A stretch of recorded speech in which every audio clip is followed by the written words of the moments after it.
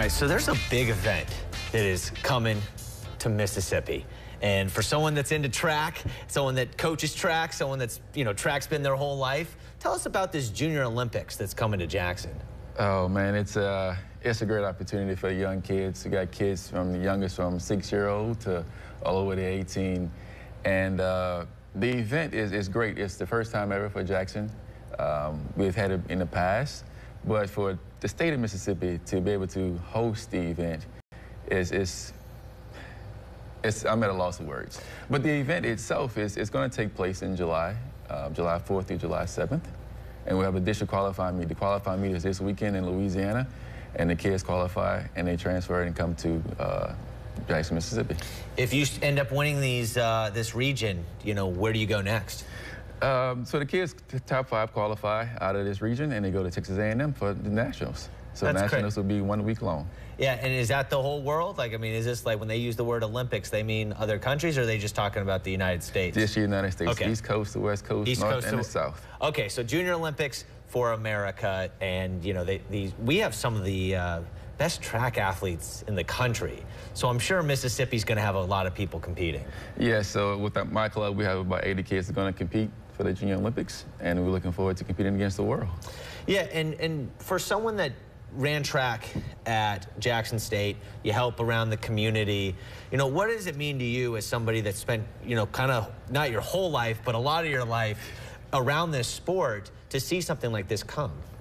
Man, like it's a, it's an honor um, to just pay it forward, give everything I had to the kids, all my time, my efforts, my knowledge, my skill sets, and just to see a kid start from zero and grass to go to 100, it, it's, it's, it's an honor. Whether it's Pearl High School, Tylertown, I mean, you think about some of the great schools that run track, Ridgeland High School, Yes, sir. where, where you help out. Uh, obviously, we've had an Olympic athlete over there. So, for you, what makes track so big in Mississippi?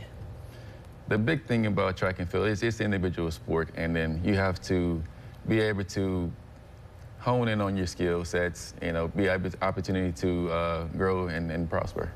I've always felt like football and track have a great correlation, and I think that maybe you know we have such great football players that all of a sudden we have great track, but then we have great track athletes that end up turning into really good football players, and they tend to do both. I've, I've noticed that uh, here. But you also had. uh, the Mississippi Track Stars. Yes, sir. Talk about what you guys do, you know, on a weekly basis, daily basis. On a uh, weekly basis, we, we uh, pretty much train uh, Monday through Thursday, 6 p.m. to 8 p.m., uh, getting kids ready, whether it be high jump, long jump, triple jump, hurdles, pole vault.